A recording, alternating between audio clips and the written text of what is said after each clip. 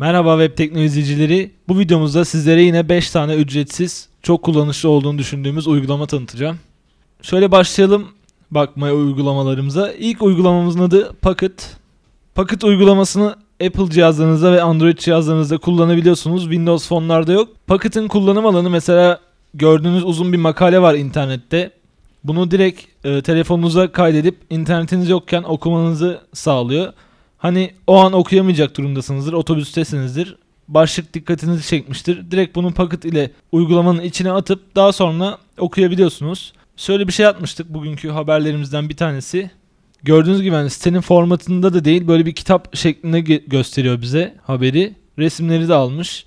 Şöyle baktığımız zaman buradan çeşitli ayarları var. Dilersek harfin e, light veya bold veya tipini değiştirebiliyoruz. Şöyle arka planın aydınlığını değiştirebiliyoruz. Sepya yapabiliyoruz ya da koyu yapabiliyoruz. Gözünüz hangisinde daha rahat ediyorsa. Ve buradan aydınlık derecesini ayarlayabiliyoruz. Dilersek buradan paylaşabiliyoruz çeşitli yerlerde. Facebook'tan falan gönderebiliyoruz. Şu kısımda refresh var. Eğer hani biz bu haberi aldıktan sonra sayfada bir değişiklik yapıldıysa onu refresh yaparak tekrar alabiliyoruz sayfayı. Burada da işte etiket ekle, sil, dinle. Dinle seçeneği de var arkadaşlar. Samsung'un bir kendi dinletme uygulaması var. Bir de Google'ın dinletme uygulaması var bildiğiniz gibi. Ama bunların ikisi de çalışmadı burada. Hata veriyor. Bunu biz report article problem diyor. Onu gönderdik. Belki bir çözüme ulaşırlar ya da bizim tabletle alakalı bir sorun var. Switch to Web View dediğimiz zaman da web görünümüne geçiyor. Gördüğünüz gibi bizim sayfanın mobil versiyonu geldi. Şimdi gelelim bunu buraya nasıl indirdiğimize. İnternet tarayıcımızı açıyoruz. Bu haberi beğendik ama o an okuyabilecek bir durumda değiliz. Şuradan telefonunuzun veya tabletinizin menüsüne basıyorsunuz. Paylaşa tıklıyorsunuz ve burada gördüğünüz gibi Add to Pocket seçeneği geliyor. Buraya eklediğimiz zaman işte Pocket'a eklemiş oluyor. Buradan açıp girip okuyabiliyoruz arkadaşlar. Çok basit ve kullanışlı bir uygulama. Diğer uygulamamıza geçelim.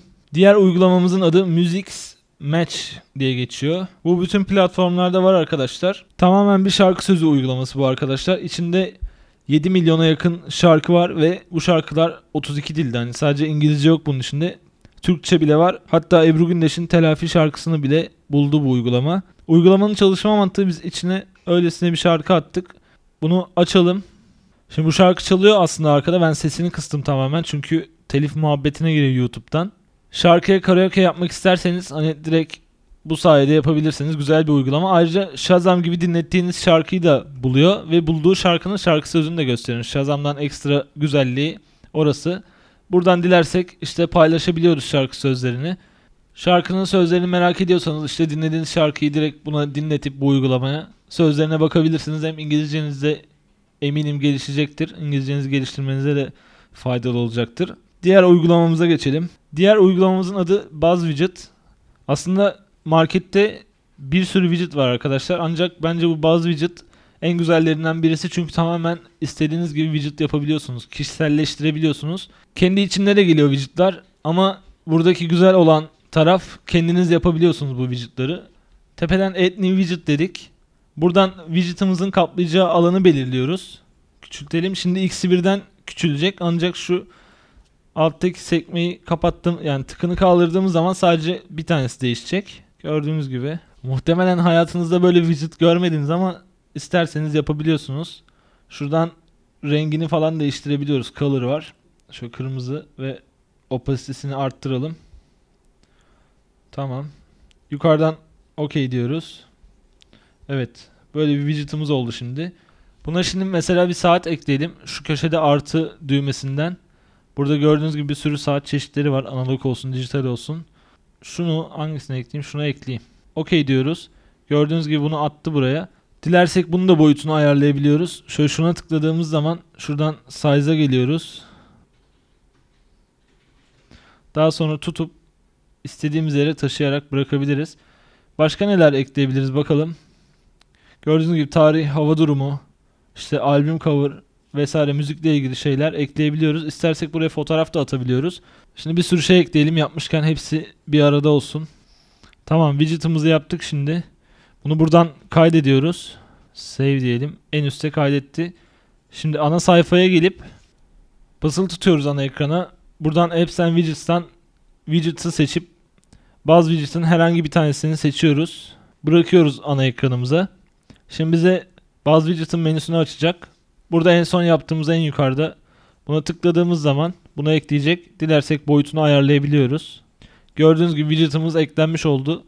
Dünyanın en çirkin widget'ı olarak da sanırım tarihe geçer bu. Siz daha güzellerini yaparsanız arkadaşlar yorum olarak screenshot atın bakalım nasıl olmuş. Bir görelim. Ben beceremedim gördüğünüz gibi. Bu uygulama tabii ki de sadece Android'de var. Hani iOS veya Windows Phone'da böyle bir aksiyon olmadığı için yok doğal olarak. Diğer uygulamaya geçelim. Diğer uygulamamızın adı Home Styler. Uygulamanın temel mantığı şu. Odanızın fotoğrafını çekiyorsunuz. Boş ya da dolu fark etmez.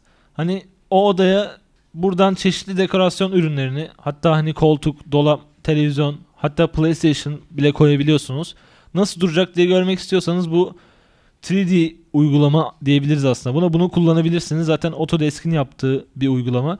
Şuradan gösterirsem daha rahat anlaşılır sanırım. Şu galeriden bir tane fotoğraf seçelim. Ben Google'dan boş bir oda fotoğrafı buldum. Şunu ekleyelim. Gördüğünüz gibi şimdi köşeleri arıyor uygulama. Şöyle buldu, doğru da buldu denebilir. Şöyle biraz da biz ayarlayabiliriz dilersek. Çünkü üzerine oturtacağı nesneleri buna göre oturtacak. Şuradan döndürebiliyoruz gördüğünüz gibi. Tamam öyle kaba taslak oturttuk. Next diyoruz.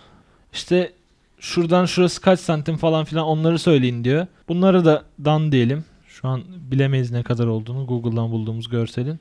Dan dedikten sonra burada katalogdan her şey bu kategorilerin altında arkadaşlar. Hani odanızı dilediğiniz gibi döşeyebilirsiniz. Hatta mutfak ve banyo bile yapabiliyorsunuz. Bu uygulama sayesinde living room diyor yani oturma odası, yaşam odası işte her neyse. Buradan mesela bir tane koltuk ekleyelim. En üstte sofas var.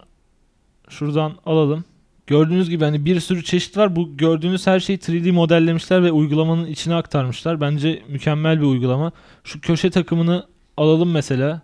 Gördüğünüz gibi buraya oturttu. Bunu dilediğiniz gibi çevirebiliyorsunuz arkadaşlar. Zaten daha önceden sizin köşelerinizi hesapladığı için perspektifte bir yanılma olmuyor. Şöyle köşeye getirelim. Daha sonra katalogdan tekrar bir şeyler ekliyoruz. Bunu da böyle şu an çok rastgele ekliyorum. Hani siz uğraşabilirsiniz bununla. Bu da böyle girişi kapatsın. Tam öğrenci evi oldu. Her taraf çekyat koltuk. Burada dilediğiniz gibi ayarlar yapabilirsiniz. Çeşit gerçekten çok fazla. Hani oturun hayalinizdeki ev bile kurun. O bile eğlenceli olabiliyor. Dilerseniz hatta bu koltuğa insan bile oturtabiliyorsunuz nasıl görüneceğine dair. insanlar var içinde. İşte duvar kağıdından yerdeki halıya kadar hatta duvarın rengine kadar bir sürü şeyi değiştirebiliyorsunuz. Güzel bir uygulama. İndirip kurcalayın arkadaşlar. Windows Phone hariç bütün platformlarda var. Apple Store'da bulabiliyorsunuz. Android'in marketinde bulabiliyorsunuz. Son uygulamamıza geçelim. Son uygulamamızın adı Hootsuite. Bu bir sosyal medya yönetme uygulaması arkadaşlar. Şöyle dik çevirelim. Biz Twitter hesabımıza giriş yaptık arkadaşlar. Şuraya tıklıyoruz. Şu an karşımıza böyle bir sayfa geldi. Yani Twitter'ı basit bir şekilde görebiliyoruz. Şu home feed yazan ana sayfamız. Mentions yazan sekme bize yazılan şeyler. Direct message'da hani özel mesaj bildiğimiz özel mesajlar. Send bizim gönderdiğimiz tweetler.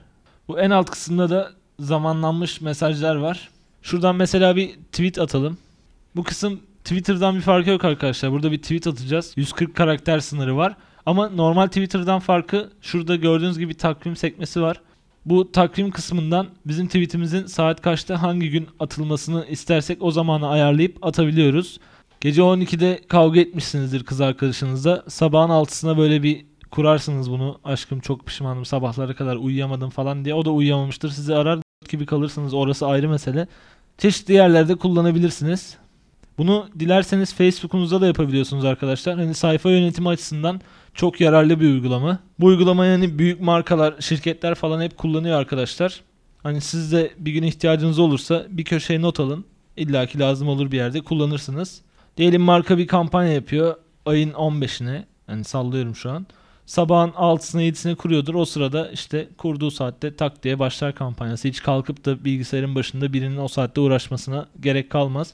Uygulama Windows Phone'da yok arkadaşlar. Diğer platformlarda bulabilirsiniz. Bu hafta size 5 tane uygulama tanıttım arkadaşlar. İşte daha sonra okurum uygulaması olan Pocket. İşte şarkı sözlerini bulmanıza yarayan Music Match ve hani karaoke de yapabilirsiniz. Daha sonra benim şu mükemmel widget'ı yaptığım uygulama olan Buzz Widget. Home Styler var. Evinizi döşemenize yarıyor. HotSuite'de Facebook, Twitter gibi sosyal ağlardan daha sonrası için gönderi planlamanıza yarıyor. Bu 5 tane uygulamayı ücretsiz bir şekilde indirebilirsiniz arkadaşlar. Twitter adresimizi takipte kalın arkadaşlar. YouTube'dan abone olmayı unutmayın. Videolara like atın. Facebook'tan da bizi takip edin. Gönderilerimizi beğenin, paylaşın. Ya da beğenmezseniz de siz biliyorsunuz unlike butonu yok sonuçta. Webtekno.com adresinde takipte kalın arkadaşlar. Başka bir videoda görüşmek üzere. Hoşçakalın.